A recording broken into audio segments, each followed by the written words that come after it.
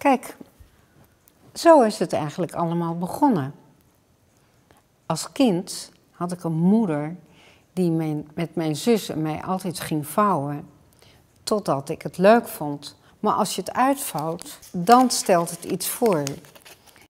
En toen dacht ik, de plooien die altijd na een vouw in een blank kleed of een blank papier komen, dat is zo'n schoonheid. En ik zat net op de Aritwat Academie, de textielafdeling. En daar gingen we zeefdrukken. En toen dacht ik van, weet je, ik ga dingen vouwen en die ga ik daarna screenen. Nou, dit is een heel goed voorbeeld ervan. Dit is een van de eerste vouwsels. En dan ontvouw ik dat. Dit is Nepalees papier. Heel mooi en strak. En dan zie je dat opeens die kleine dingetjes die in dat Nepalees papier zitten, die associëren zich met de gevouwen lijnen. Je blijft toch altijd door de naden een vouwsel, een vierkant ontdekken. En hier hebben we weer keurig het gevouwen vierkant terug.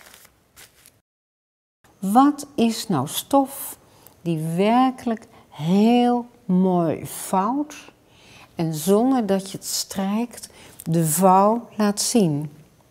Is het kleine boordje? Dit is de grote boord. Nou, en dit is eigenlijk een soort linnen. Kijk, en dan zie je hier hoe pijlscherp zo'n naad loopt.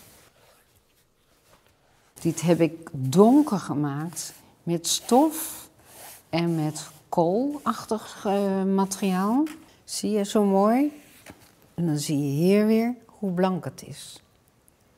Het is dus niet getekend. Het is niet geschilderd, maar het is gewoon een bedenksel van hoe zou zoiets zijn. En dat is natuurlijk met één doekje niet klaar geweest. Er is heel veel overheen gegaan voordat je dacht, nou, van die 80, dat zijn de 10 die goed zijn. Ik ben andere dingen gaan doen, maar uiteindelijk waar ik nu zit, ik maak de sculptures die als het ware gevouwen zijn. Dit is mijn laatste werk in Nieuw-Zeeland. Het is een van mijn moeilijkste beelden die ik ooit gemaakt heb. 8,5 ton en om dan het te vouwen. Maar het lukt. Met goede zin lukt het altijd.